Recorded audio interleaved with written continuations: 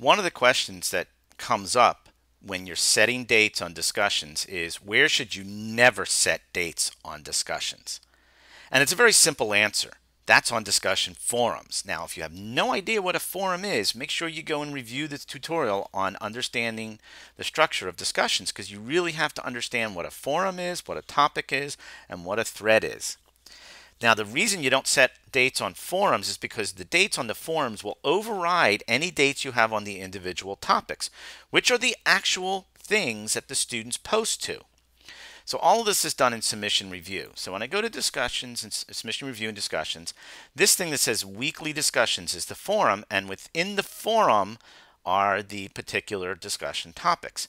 Now the way that this is set from the date that I'm doing this tutorial, which happens to be April 14th, 2016, this discussion should be open for the student. So when I click on this and I view this as the student and I go here, you'll notice that start a thread is there and the student can do that until April 17th, 2016 and then it will shut down.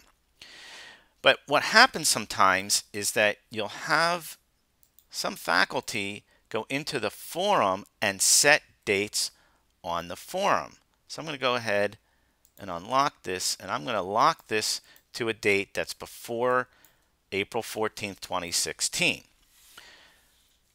Now, you'll notice that this has different dates than this does. And so now what happens is when a student comes into this, even though this topic is open and should be open because they composed the 17th. Notice it is not because the date on the forum is overriding the date you have on the topic. And the same thing happens here. It looks like it's open, it should be okay, and it's not. And then the student calls the help desk, and then we have to go in and fix it.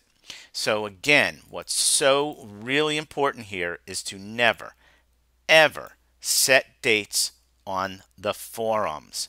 Keep the forums alone. Do not set any dates on them. The only dates you need to set are on the individual topics if you so desire.